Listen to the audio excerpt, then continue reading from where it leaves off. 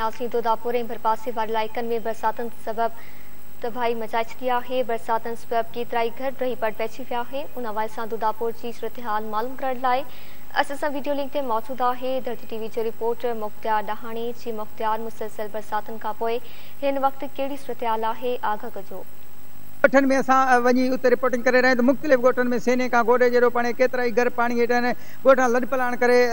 कपिड़नि ते ऐं शाखनि जे कड़नि ते आहिनि पर हिन वक़्तु ताईं हुननि खे ॿाहिरि नथी सघे जॾहिं त धोदो कटोहर आहे उन सां गॾो गॾु ईदन लोहर आहे गुलज़ार खां ॾहाणी आहे ऐं उन सां गॾो गॾु ॿिया बि केतिरा ई ॻोठ आहिनि उहे हिन वक़्तु बि जेको आहे त पाणी में आहिनि ऐं ॾोगा ठाणा सख़्तु ॾुखिया था मूं ॾियण ते मजबूर आहे उन्हनि सां ॻाल्हि ॿोल कयूं त उहे छा पिया चवनि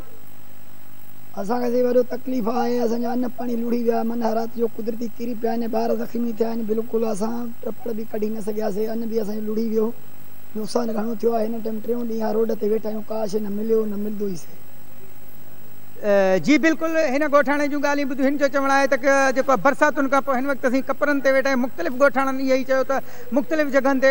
जेको आहे त इहेई दाऊं पियूं अचनि त हिन वक़्तु ताईं सत ॾींहं गुज़री वञनि बावजूदु जेका ज़िले इंतिज़ामिया तालके घड़ी खेड़े इंतिज़ामिया हिन वक़्तु ताईं कख बीणो भञी बीणो न आहे नई का टेंट नई का राशन नई का वग़ैरह ॾिनो आहे हीउ सख़्तु पिण ॾुखियनि सां मो ॾेण ते हिननि चयो त ख़ुदा जे वास्ते असां सां कुझु असांजो ऐं घर तलरी लुड़ी आहे पर असां ख़ुदा वास्ते कुझु न कुझु मदद कई वञे 惧。